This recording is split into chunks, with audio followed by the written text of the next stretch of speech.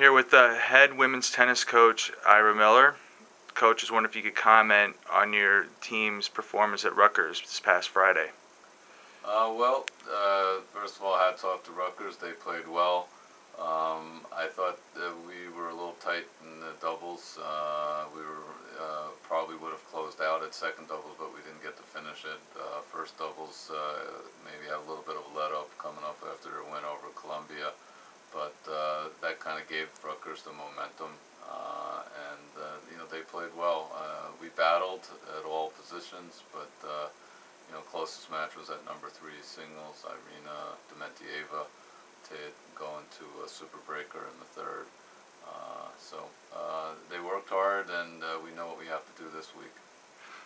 Your lineup has been pretty consistent throughout the spring so far. Expect to see any changes to that too? You're probably going to go with, for the most part.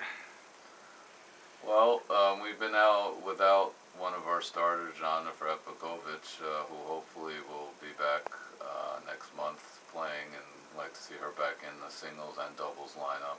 Um, but you know, it's a work in progress right now. Seeing you know who's playing the best. Uh, I think uh, you know we'll see match to match how everyone's doing in their position.